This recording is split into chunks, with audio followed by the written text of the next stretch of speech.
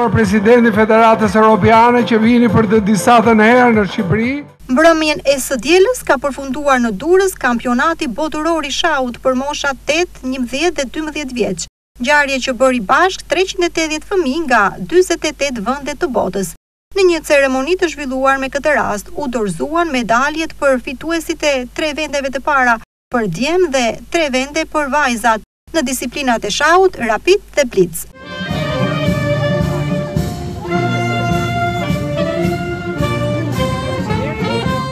Vendi ynë u përfaqësua në këtë garë me gjashtëdhjetë e dy lojtarë, por nuk arriti që të merrte çmime.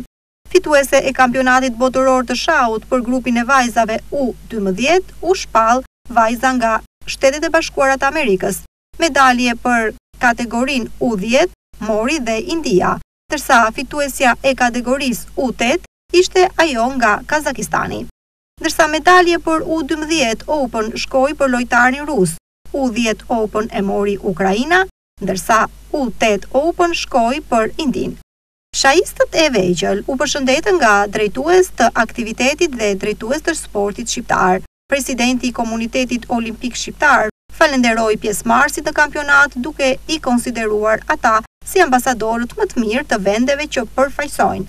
Kampionati bashkoi në Durrës treqind e tetëdhjetë fëmijë nga dyzet e tetë vende të botës, të cilët garuan për disa ditë në disiplinat e njohura të shahut si Rapid dhe Blitz.